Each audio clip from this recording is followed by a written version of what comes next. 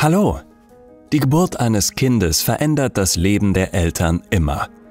Diese Familie muss sich jedoch Schwierigkeiten stellen, von denen sie weder ihren Nachbarn noch ihren Freunden oder gar dem Arzt erzählen können.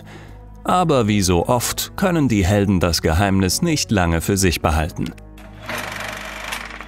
Katie, eine junge Mutter, kommt auf die französische Polizeiwache und erzählt, dass sie ihren Mann seit einer Woche nicht mehr finden kann.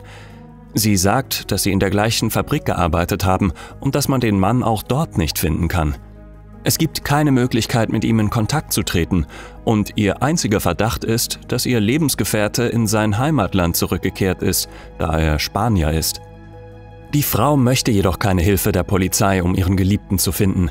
Sie weiß, dass sie mit zwei Kindern allein nicht zurechtkommt. Katie fragt, ob sie ihren jüngsten Sohn für eine Weile in die Obhut einer Pflegefamilie geben könne, bis sie wieder auf den Beinen ist. Das Baby weint viel und nimmt viel Energie in Anspruch.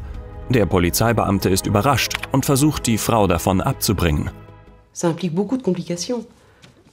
Wir springen ein paar Monate in der Zeit zurück. Ein kleines Mädchen, Lisa, weckt ihre Mutter und während diese sich müht aufzustehen, macht sie sich ihr eigenes Frühstück. Sie essen und Katie bringt ihre Tochter mit dem Motorrad zur Schule. Dann geht sie zur Arbeit in der Kosmetikfabrik. Jeder Arbeitstag ist wie der andere, aber plötzlich fällt Katie ein neuer Mitarbeiter auf. Sie schaut sich den Mann in der Mittagspause an und geht dann wie üblich eine rauchen. Dort stoßen sie aufeinander und Katie erfährt, dass der Fremde Paco heißt. Die beiden mögen sich sofort. Ohne lange zu überlegen, werden Paco und Katie in der Toilettenkabine intim. Am nächsten Tag wartet Paco nach Ende seiner Schicht in der Nähe der Fabrik auf Katie. Katie sagt, dass das, was zwischen ihnen passiert ist, ein Fehler war. Am Abend schickt Katie ihre Tochter ins Bett und geht angeblich mit Freunden in ein Restaurant. In Wirklichkeit hat sie ein Rendezvous mit Paco. Beim Abendessen erzählt sie ihrem neuen Liebhaber von Lisa und erfährt, dass er keine Kinder hat, sondern nur eine kurze Ehe in seiner Jugend. Die Liebenden haben einen schönen Abend, der in Katies Haus fortgesetzt wird. Die kleine Lisa wacht auf und hört, dass hinter der Wand etwas vor sich geht, traut sich aber nicht aus dem Zimmer. Am nächsten Morgen kommt das Mädchen in die Küche und sieht ihre Mutter und einen unbekannten Mann, die in ihrer Hauskleidung ein Frühstück einnehmen. Lisa ist erschrocken und rennt in ihr Zimmer. Katie folgt ihr und erklärt ihr, dass Paco wahrscheinlich bald bei ihnen wohnen wird, so dass sie sich an ihn gewöhnen muss. Jetzt fährt Lisa mit dem Bus zur Schule und Paco nimmt den zweiten Platz auf dem Motorrad ein.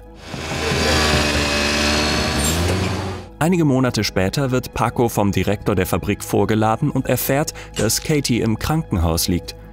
Sie bringt einen Jungen zur Welt, den Lisa Ricky nennt. Nun ändert sich das Leben des kleinen Mädchens drastisch.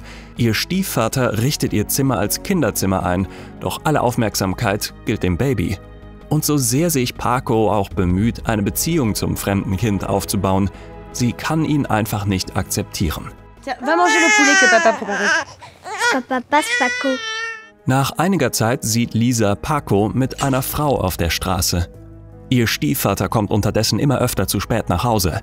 Bei einer dieser Gelegenheiten kann Katie es nicht mehr ertragen und macht eine Szene.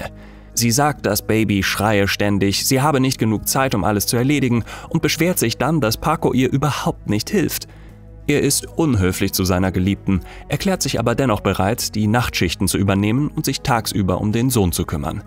Bevor sie zu Bett gehen, versöhnen sie sich und träumen davon, dass bald alles wieder so sein wird wie früher. Am nächsten Tag fährt Katie in die Fabrik und Paco legt sich mit einer Flasche Bier auf die Couch. Doch seine Ruhe ist nur von kurzer Dauer. Ricky fängt wieder an zu weinen.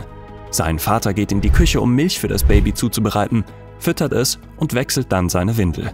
Ein paar Stunden später kommen Katie und Lisa nach Hause und sehen Paco mit dem Baby in den Armen schlafen. Ça s'est bien passé? Oui, je crois. Während der Stiefvater versucht, Lisa mit der Schule zu helfen, wechselt Katie die Kleidung ihres Sohnes und bemerkt etwas sehr Merkwürdiges. Sie ruft Paco und zeigt ihm den blauen Fleck auf dem Rücken des Kindes. Die Frau verlangt, dass ihr Geliebter gesteht, was er getan hat. Sie scheint überzeugt zu sein, dass er seinen Sohn fallen gelassen hat. Paco wird wütend und bestreitet die Anschuldigungen. Er ist angewidert, dass Katie sowas überhaupt für möglich hält. Es ist morgen und Katie kann immer noch nicht schlafen. Ihre Tochter kommt in die Küche und fragt sie, ob Ricky sterben wird. Ihre Mutter schimpft mit ihr, weil sie dumme Fragen stellt und rennt los, um ihren Sohn zu trösten, der wieder einmal zu weinen beginnt. Sie zieht das Baby aus und bemerkt, dass Ricky einen zweiten blauen Fleck auf dem Rücken hat. Bald darauf kommt Paco von der Nachtschicht zurück und Katie bittet ihn um ein ernstes Gespräch. Paco fragt sich, ob Katie wirklich glaubt, dass er ihren Sohn geschlagen hat. Seine Frau erwidert, dass sie genau das denke. Da steht Paco auf, zieht seine Jacke an, wirft seine Schlüssel auf den Boden und verlässt das Haus. Nun muss Lisa oft auf ihren kleinen Bruder aufpassen. Eines Tages wird sie von einer Puppe abgelenkt, während ihre Mutter nicht zu Hause ist und passt nicht auf Ricky auf.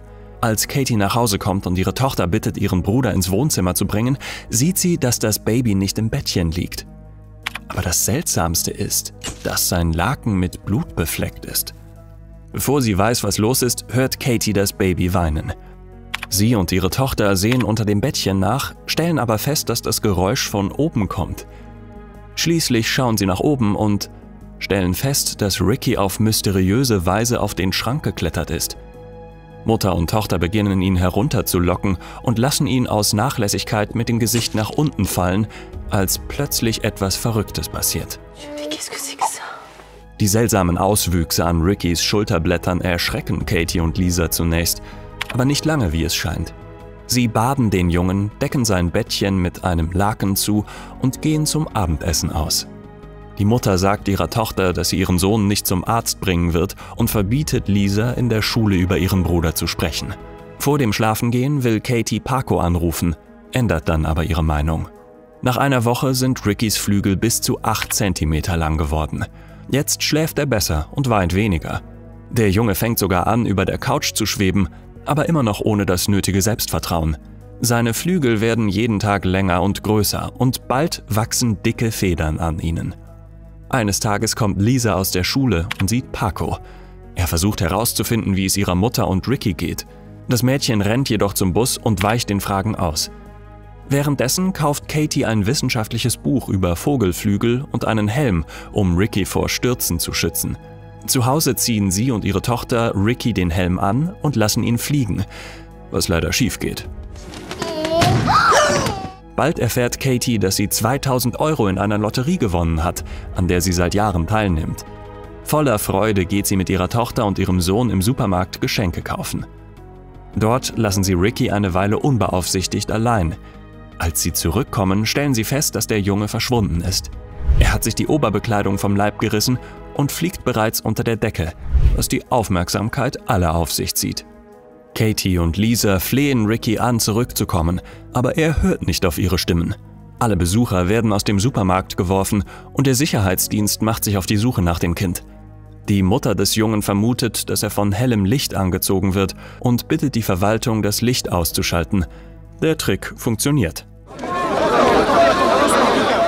Katie und Lisa finden sich in einem Krankenhaus wieder. Ein Arzt, der Rickys unglaubliche Eigenart bewundert, lädt sie in seine Praxis ein. Der Arzt meint, das Kind solle gründlich untersucht und eine Zeit lang unter Beobachtung gestellt werden. Katie wehrt sich vehement gegen diesen Vorschlag. Sie will nicht, dass ihr Sohn zu einer Laborratte gemacht wird. Der Arzt beharrt darauf, dass ein solches Kind besondere Bedingungen braucht, die Katie zu Hause nicht hat, worüber Katie noch empörter ist. Sie nimmt ihren Sohn mit nach Hause und findet vor dem Krankenhaus eine Schar von Journalisten vor. Schließlich nimmt sie die Karte des Arztes und schafft es gerade noch nach Hause. Am nächsten Morgen sieht Katie im Fernsehen einen Bericht über Ricky und den Vorfall im Supermarkt. Den ganzen Tag über patrouillieren Horden von Journalisten in ihrem Garten, um exklusive Kommentare zu bekommen oder um das seltsame Kind zu filmen. Eine unruhige Nacht vergeht und früh am Morgen klingelt es an der Tür. Bonjour Lisa. Bonjour. Katie schickt ihre Tochter ins Zimmer, um nach Rick zu sehen. Paco erzählt ihr, dass er die Geschichte im Fernsehen gesehen hat und fragt Katie, warum sie ihm nicht die Wahrheit über seinen Sohn gesagt hat. Katie entschuldigt sich bei ihm und sie umarmen sich. Paco sagt, er wolle seinen Sohn sehen. Er erzählt ihr, dass er nach Paris gegangen ist, um im Restaurant eines Freundes zu arbeiten und dass er die ganze Zeit dort nur von einer Sache geträumt hat, nach Hause zu kommen. Paco geht in das Kinderzimmer und sieht seinen Sohn umherfliegen. Das begeistert ihn. Aber Katie merkt, dass das Kind Angst hat. Es stürzt gegen Gegenstände und verhält sich anders als sonst. Sie fangen ihn auf und versuchen ihn zu beruhigen. Paco merkt, dass das Kind leidet und nicht unter so gefährlichen Bedingungen leben sollte. Lisa bemerkt Blut auf Rickys Kopfkissen. Sie ruft den Arzt an. Er behandelt die Wunde und macht deutlich, dass dieses Zimmer nicht die richtige Umgebung für ein Kind dieser Art ist. Er erklärt auch, dass Rickys Flügel aus seinen Schulterblättern wachsen. Das bedeutet, dass sie auf lange Sicht abgeschnitten werden können. Eine solche Operation wäre vergleichbar mit der Trennung siamesischer Zwillinge. Nach einem solchen Eingriff würde das Kind natürlich viel Pflege und Aufmerksamkeit benötigen. Am Abend versucht Lisa, die Flügel ihres Bruders mit einer Schere abzuschneiden, wird aber von ihrem Stiefvater erwischt. Nachdem er sich seinen Sohn angesehen hat, geht Paco in die Küche, um seine Geliebte zu sehen. Er spricht an, dass die OP viel Geld kosten wird und schlägt vor, dass Katie einen Deal mit den Journalisten macht. Katie steht dieser Idee skeptisch gegenüber. Sie fragt, ob Paco deshalb zurückgekommen sei, um an ihrem Sohn zu verdienen. Paco fordert mehr Vertrauen und erinnert Katie daran, warum er sie zuvor verlassen hat. Écoute, Katie, nach einer Weile geht die Familie aus dem Haus, wo eine Schar von Reportern auf sie wartet. Die Reporter sind begeistert, dass sie das erstaunliche Kind endlich aus allen Blickwinkeln fotografieren können, auch in der Luft. Die jungen Eltern lassen ihren Sohn fliegen, indem sie ihn an einem speziellen Seil festhalten, aber plötzlich Eine Schar von Journalisten, Eltern und seiner Schwester rennen dem Kind zum See hinterher. Doch als Ricky hinter dem Horizont verschwindet, ist klar, dass er nicht zurückkommen wird. Die Reporter beginnen sich zu zerstreuen. Katie weint bitterlich. So verbringen sie mehrere Stunden. Während die Leute rund um den See nach Ricky suchen, bleiben seine Eltern und seine Schwester an dem Ort, wo sie ihn zuletzt gesehen haben. Doch die Suche endet ergebnislos. In den nächsten Tagen hängen Paco und Lisa in der ganzen Stadt Vermisstenanzeigen auf, während Katie zu Hause bleibt und sich weigert, zur Arbeit zu gehen. An einem frühen Sonntagmorgen steht Katie auf und öffnet die Vorhänge. Paco wacht im Sonnenlicht auf und fragt sie, was sie gerade macht. Die Frau sagt, sie wolle am See spazieren gehen. Paco versucht, sie zur Vernunft zu bringen.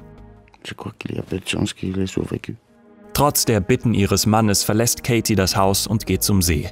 Sie zieht ihre Schuhe aus und steigt ins Wasser, scheinbar entschlossen, ihr Leben zu beenden. Doch plötzlich hört sie eine vertraute Stimme, blickt auf und sieht ihren Sohn. Katie folgt Ricky ans Ufer und ist überrascht, wie sehr er gewachsen ist. Sie gesteht ihm, dass sie das Seil mit Absicht losgelassen hat, aber nicht, weil sie ihn loswerden wollte. Ricky ist glücklich über die Worte seiner Mutter erhebt sich wieder in die Lüfte und fliegt davon. Glücklich kehrt sie nach Hause zurück, umarmt Paco und Lisa und sagt ihnen, dass sie die beiden liebe. Einige Monate vergehen. Sie leben weiterhin zusammen. Jetzt wird Lisa von ihrem Stiefvater zur Schule gebracht und ihre Mutter bleibt zu Hause. Katie erwartet wieder ein Baby und scheint die Vergangenheit völlig hinter sich gelassen zu haben. Jeder Fantasy-Liebhaber wird dir versichern, dass man Filme dieses Genres nicht wörtlich nehmen sollte. Hinter jeder Geschichte steckt eine Metapher. Was glaubst du, wollte der französische Regisseur François Ozon mit dieser Geschichte über den Vogeljungen zum Ausdruck bringen? Schreib deine Theorie in die Kommentare. Und vergiss auch nicht, dieses Video zu liken und den Kanal zu abonnieren, wenn du coole Filmgeschichten magst.